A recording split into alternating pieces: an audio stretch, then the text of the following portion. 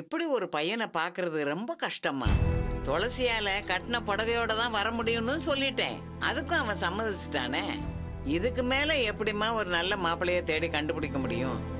இப்படி வர்ற வாய்ப்பெல்லாம் நீ தட்டிக்கிட்டே இருந்தேன்னா இந்த வீட்லயே உட்காந்து நீ என்ன பண்ண போற? என்ன பாட்டி? முன்ன பின்ன தெரியாத ஆள்கிட்ட என்ன பத்தி பேசிட்டு வந்திருக்க?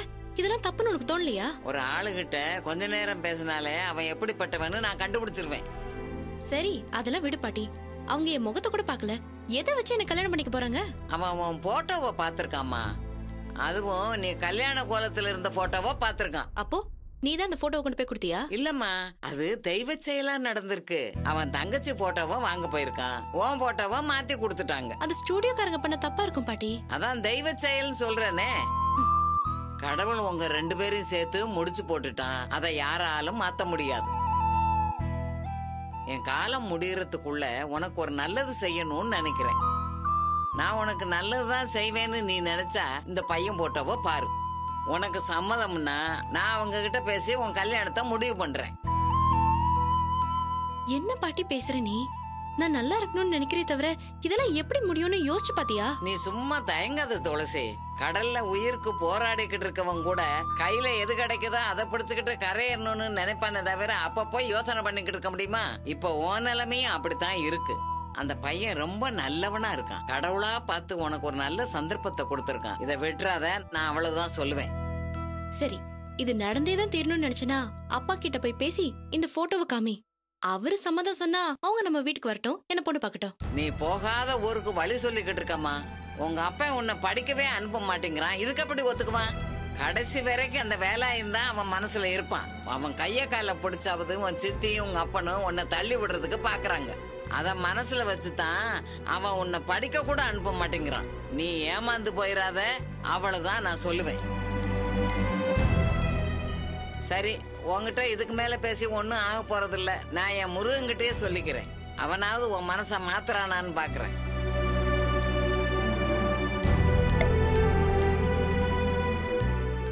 முருகா நல்லா பாத்துக்க. என் பேத்துக்கு இவன் தான் மாப்பிள. நீ தான் இந்த நல்ல விஷயத்த முடிச்சு வைக்கணும். அவ ஏதோ அவ அப்பனை பத்தி புரியாம பேசிக்கிட்டு இருக்கா. நீ தான் அவளுக்கு எல்லாத்தையும் புரிய வைக்கணும்.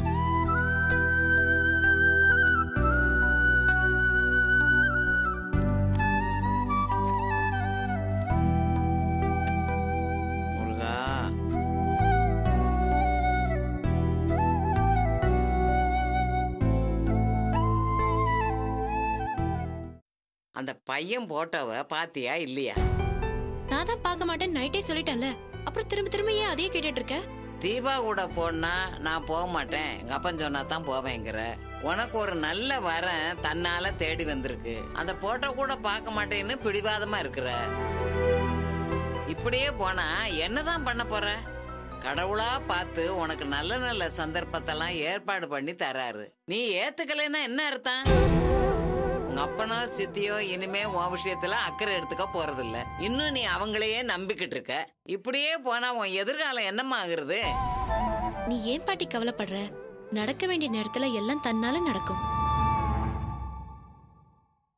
நல்லா இருக்கீங்களா ஆண்டி? யார் நீங்க? என்ன தெரியலையா? நான் தான் சந்திரா.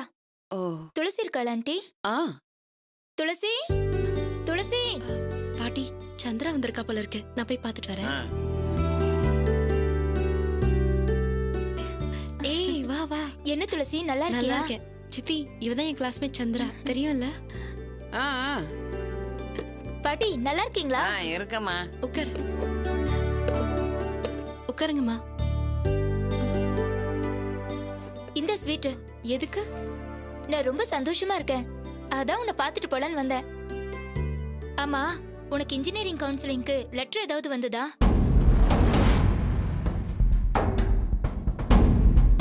அப்படிலாம் ஒண்ணும் வரலையே. அப்ளை பண்ணதானே வரும். நான் தான் அப்ளை பண்ணவே இல்லையே. என்ன சொல்ற துளசி? நீ அப்ளை பண்ணலையா? ஏன் நீ மேற்கொண்டு படிக்க போறது இல்லையா? எங்களை விட நீ தானே அதிகமா மார்க் எடுத்திருக்க? நம்ம ஸ்கூல்லயே ஃபர்ஸ்டா வந்துட்டு நீ ஏன் அப்ளை பண்ணாம இருக்க? இன்ஜினியரிங் படிக்கிறது உன் லட்சியம் சொல்லிட்டு இருப்பியே. ஏன் இப்போ உன் முடிவை மாத்திக்கிட்டியா? துளசிக்கு படிக்கணும்னு தான் ஆசை. ஆனா அந்த வீட்டுல இருக்க யாருக்கும் இவளை படிக்க வைக்கணும்னு மனசு வரலையம்மா. கொஞ்சம் சும்மா இருக்கியா பாட்டி? என்னை படிக்க வைக்கிற அளவுக்கு அப்பாவுக்கு வசதி இல்ல சந்திரா. அதான் அப்பாவை மேற்கொண்டு கஷ்டப்படுத்த வேணான்னு நான் என் முடிவை மாத்திக்கிட்டேன். உனக்கு தான் ஃப்ரீ எஜுகேஷன் சாங்ஷன் ஆயிருக்கே? நீ ஏன் படத்தை பத்தி கவலைப்படுற. ஃப்ரீ எஜுகேஷன்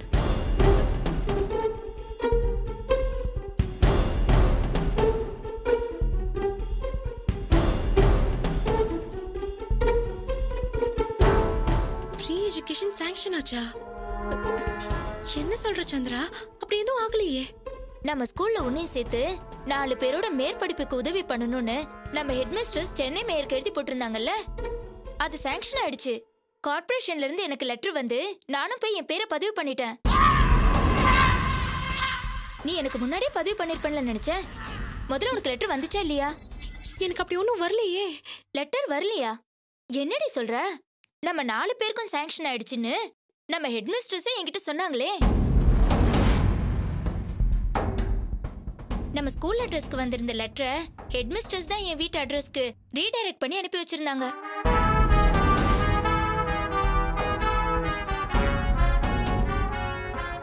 உனக்கு வந்த லெட்டர் இப்போ உன் கையில இருக்கா? எனக்கு வந்த லெட்டர் கார்ப்பரேஷன் ஆபீஸ்ல கொடுத்துட்டேன். அது ஒரு ஜெராக்ஸ் தான் எடுத்து வச்சிருக்கேன். அது கூட இப்ப வீட்ல தான் இருக்கு. கொண்டு வரலையே.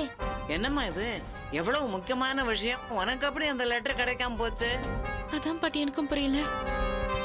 சந்திரா நீ என்னைக்கு கார்ப்பரேஷன் ஆஃபீஸ் போன? நான் போய் பத்து நாளைக்கு மேல ஆச்சே அப்படியா? என்னைக்குள்ள வரணும்னு ஏதாவது மென்ஷன் பண்ணியிருந்தாங்களா? அது சரியா ஞாபகம் இல்ல துளசி. அந்த லெட்டர் என் கையில கிடைச்ச உடனே நான் போய் என் பேரை பதிவு பண்ணிட்டு வந்துட்டேன். நீ அன்னைக்கே எனக்கு ஒரு ஃபோன் பண்ணி சொல்லிருக்கலாமே சந்திரா. ஹெட்மிஸ்ட்ரஸ் சிபாரிசு பண்ணி எல்லாருக்கும் லெட்டர் வந்துச்சு. அதே மாதிரி உனக்கும் வந்திருக்கும்னு நினைச்சு விட்டுட்டேன்.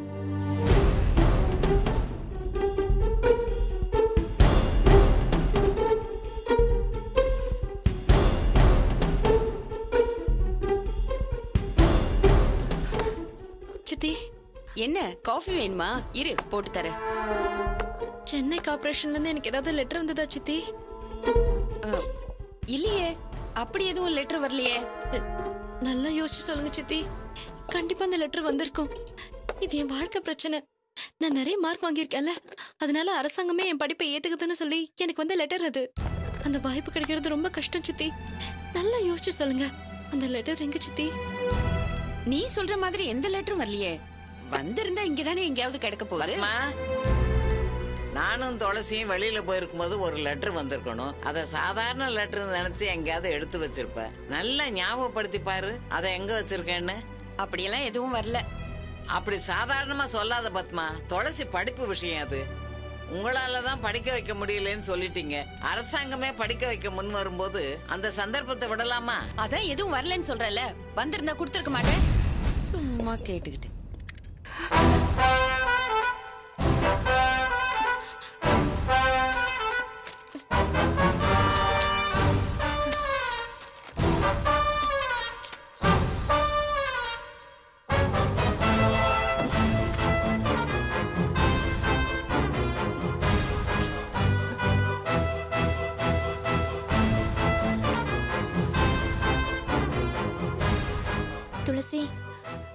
உனக்கு இப்படி ஆகும் தெரிஞ்சிருந்தா எனக்கு லெட்டர் வந்த அன்னைக்கே உன்னை தேடி இங்க வந்திருப்பேன்.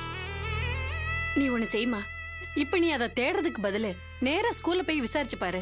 தேடி வந்த நல்ல வாய்ப்பை தவற விட்டுறாதம்மா. நீ நல்லா படிக்கிற பொண்ணு. உன்னை பத்தி இவ அடிக்கடி சொல்லிக்கிட்டே இருப்பா. எப்படியாவது நீ இவ கூட சேர்ந்து நல்லா படிக்கணுமா? துளசி அம்மா சொல்ற மாதிரி உடனே போய் பாரு. நான் அம்மாவை வீட்ல விட்டுட்டு நானும் ஸ்கூலுக்கு வரேன். துளசி நீ உடனே கிளம்பு.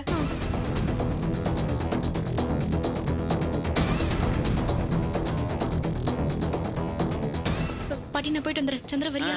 வாங்கம்மா.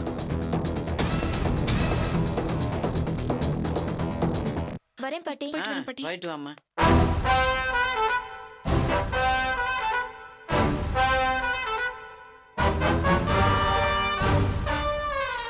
துளசி எங்க? அவ ஸ்கூல்ல போய் விசாரிக்க போயிருக்கா. ஸ்கூலுக்கு போயிருக்கலாம் ஆ. நான் வீட்ல தானே இருக்கேன். என்கிட்ட சொல்லிட்டு போயிருக்கலாம்ல? அது சரி. அவளே வந்த நல்ல சந்தர்ப்பத்தை நழுவ விட்டுட்டமேன்னு கவலையில போயிருக்கிறா. இதுல உன்னை தேடி பிடிச்சு சொல்லிட்டு போக முடியுமா? பேசுறா பேச்சு.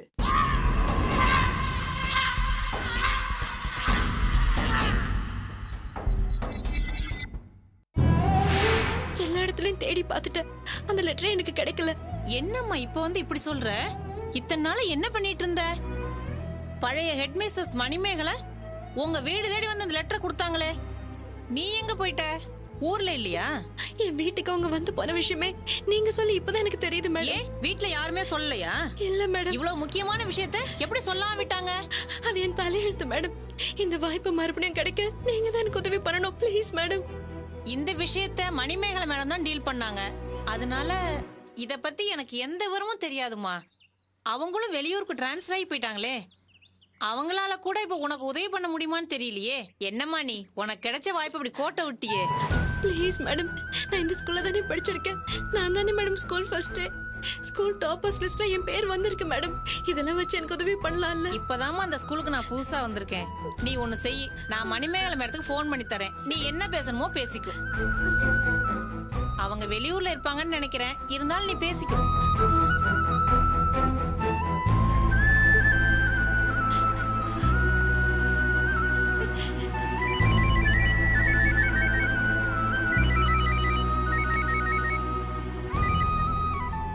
ஹலோ மேடம் மேடம் நான் துளசி பேசுறேன் மேடம். இப்பதான் உனக்கு என் ஞாபகம் வந்துச்சா? நீ ஃபோன் பண்ணுவேன்னு நான் உன் போனை ரொம்ப நாளா எதிர்பார்த்துட்டு இருந்தேன். சரி பரவாயில்ல விடு. உனக்கு கவுன்சிலிங் லெட்டர் வந்துருச்சா? மேடம் நீங்க இப்ப எங்க இருக்கீங்க? நான் உங்களை பார்க்கணும். ஏமா நான் இப்ப சென்னையில தான் இருக்கேன். ரெண்டு நாள் லீவ்ல வந்திருக்கேன். கொஞ்ச நேரத்துல கிளம்பிடுவேமா அது சரி நீ கார்ப்பரேஷன் ஆபீஸ்ல பதிவு பண்ணிட்டியாமா இன்னும் ஒரு வாரத்துல கவுன்சிலிங் ஸ்டார்ட் ஆயிடும்னு நினைக்கிறேன். இல்ல மேடம் ஒரு பெரிய ப்ராப்ளம் ஆயிடுச்சு. என்னம்மா என்ன ப்ராப்ளம் மேடம் இப்ப நீங்க வீட்ல தானே இருக்கீங்க? ஒரு அஞ்சு நிமிஷம் உங்களை நான் பார்க்க முடியுமா மேடம்? Please madam. நான் கிளம்பிட்டே இருக்கேம்மா. சீக்கிரம் வந்துருவல்ல? ஆ ஆ வந்துடுவேன் மேடம். ரொம்ப தேங்க்ஸ் மேடம்.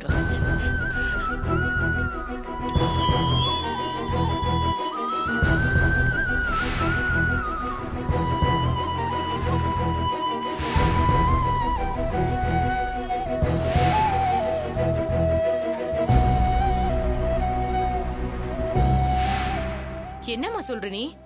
மத்த ஸ்டூடெண்ட்ஸுக்கு கூட அந்த லெட்டர் போஸ்டர்ல தான் அனுப்பி வச்ச. நீ நிறைய மார்க் வாங்கின பொண்ணாச்சேன்னு நானே உங்க வீட்டுக்கு வந்து அந்த லெட்டரை கொடுத்தேன். என் செல் நம்பரை கொடுத்து நீ வந்ததும் உடனே பேச சொன்னனே? நீங்க வந்தப்போ எங்க வீட்ல யார் இருந்தாங்க? உங்க அப்பா சித்தி ரெண்டு பேருமே இருந்தாங்களே. உடனே அந்த லெட்டர் எடுத்துட்டு போய் கார்ப்பரேஷன் ஆபீஸ்ல ரெஜிஸ்டர் பண்ண சொல்லுங்கன்னு நான் அவங்க கிட்ட சொல்லிட்டு வந்தனே. நான் அங்க வந்த விஷயத்த அவங்க உங்ககிட்ட சொல்லவே இல்லையா? சொல்லல மேடம். என்னம்மா இது அக்கிரமமா இருக்கு? ஒவ்வொரு பேரண்ட்ஸும் அவங்க பிள்ளைங்கள படிக்க வைக்கணும்னு எங்கெங்கயோ கடன் வாங்கிட்டு அலையறாங்க. உனக்கு ஃப்ரீயா வந்த எஜுகேஷனை கூட உன்கிட்ட சொல்லாம விட்டுருக்காங்க? உன் வாழ்க்கைமா இது? எனக்கு இப்ப டைம் இல்ல. இல்லன்னா உங்க அப்பாவை பார்த்து நான் அவர்கிட்ட சண்டை போட்டிருப்பேன். பெத்த பொண்ணு விஷயத்துல இப்படி அவங்க பொறுப்பு இல்லாம இருப்பாங்க? மேடம் நான் எப்படியாவது படிக்கணும் மேடம். ப்ளீஸ் நான் இப்ப என்ன செய்யணும் சொல்லுங்க. நீ உடனே கார்ப்பரேஷன் ஆபீஸுக்கு போய் பேசி பாருமா என்னம்மா இது? ஒரு கோல்டன் ஆப்பர்ச்சுனிட்டி மிஸ் பண்ணிட்டியேம்மா. சரி அதுக்காக மனசு தளர விடாத. நீ உடனே போய் அங்க விசாரி. எனக்கு ட்ரெயினுக்கு லேட் ஆச்சு. ஒரு நாள் கூட லீவ் போட முடியாத சுச்சுவேஷன் இல்லன்னா நானும் உன் கூட வந்திருப்பேன். எனக்கு அந்த வாய்ப்பு கிடைக்குமா மேடம்? உனக்கு கிடைக்கணுங்கிற நல்ல எண்ணத்துல தாமா உன்னை நான் உங்க வீட்டுக்கே தேடி வந்தேன். யாரோ சொந்தக்காரங்க கல்யாணத்துக்காக நீ வெளியூர் போயிருக்கிறதா சொன்னாங்க. இல்லனா நான் அப்பவே கொஞ்ச நேரம் வெயிட் பண்ணி உன்னை பாத்திருப்பேம்மா துளசி. என்னால இப்ப ஒண்ணும் செய்ய முடியாது. நீ உடனே போய் கார்பரேஷன் ஆபீஸ்ல விசாரிச்சு பாரு. நாளைக்கு போன் பண்ணு என்ன?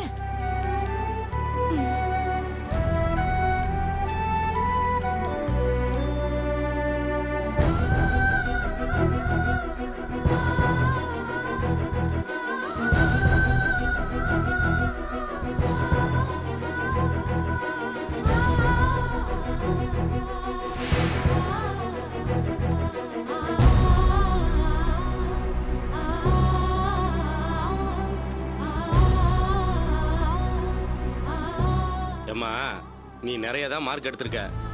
உன்னை விட குறைவா மார்க் எடுத்த ஸ்டூடெண்ட்ஸுக்கு கூட நாங்க ஃப்ரீ சீட் அலாட் பண்ணியிருக்கோம். நீ என்னடான்னா இவ்வளவு மார்க் எடுத்துட்டு அலட்சியமா இருந்திருக்கிய? நாங்க உனக்கு அனுப்பின லெட்டர் எங்க? அந்த லெட்டர் என் கைக்கு கிடைக்காம மிஸ் ஆயிடுச்சு சார் மிஸ் ஆயிடுச்சா? என்னம்மா இப்படி அலட்சியமா பதில் சொல்ற? உனக்கு கிடைச்ச வாய்ப்பை நீ ரொம்ப அலட்சியமா நினைச்சிட்ட போல. ஃப்ரீ எஜுகேஷனுக்கு உதவி கேட்டு மூவாயிரம் பேர் அப்ளை பண்ணியிருந்தாங்க. அதுல தகுதி உள்ளவங்களா பார்த்து இருநூத்தி எண்பது பேருக்கு நாங்க அலாட் பண்ணிட்டோம். உன்னை தவிர மத்த எல்லாருமே லெட்டர் எடுத்துட்டு வந்து இங்க பதிவு பண்ணிட்டு போயிட்டாங்க. நீ ஒரு ஆள் தான் வரல.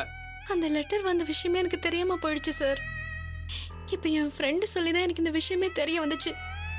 அதுக்கப்புறம் தான் உங்களை பார்க்க ஓடி வந்தேன் சார் அதுக்கு நான் என்னம்மா பண்ண முடியும்? எங்களுக்கு இருக்கிற வேலைக்கு நடுவில் இந்த மாதிரி ஃப்ரீ எஜுகேஷனுக்கெல்லாம் ஃபண்ட்ஸ் ஒதுக்குற வேலையும் பண்ணிக்கிட்டு தான் இருக்கோம். படிப்பு விஷயமாச்சேன்னு ரொம்பவும் கேர் எடுத்து சாங்ஷன் லெட்டர் வாங்கி உனக்கு அனுப்பி வச்சோம். அதை நீ சாதாரணமாக நினச்சி விட்டுட்ட. இவ்வளவு லேட்டாக வந்து கேட்டா நாங்கள் என்ன பண்ண முடியும் சொல்லு? Sir please sir. நீங்க அனுப்பின லெட்டர் மட்டும் கிடைச்சிருந்தா அது என் கைக்கு கிடைச்ச அடுத்த நிமிஷமே இங்க ஓடி வந்திருப்பேன் சார். இது என் படிப்பு விஷயம் ப்ளீஸ் சார். நீங்க தான் எனக்கு எப்படியாவது ஹெல்ப் பண்ணணும் சார்.